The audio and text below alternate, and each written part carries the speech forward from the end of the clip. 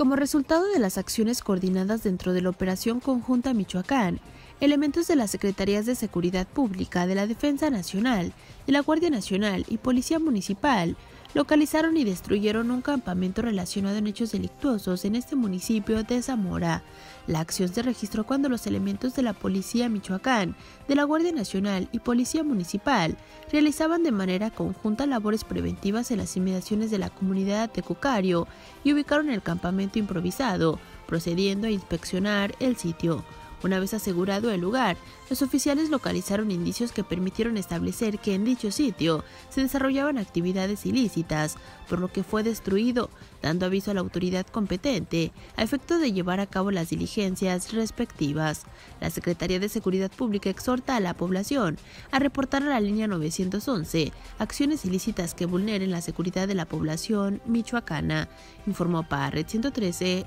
MÁS Cervantes.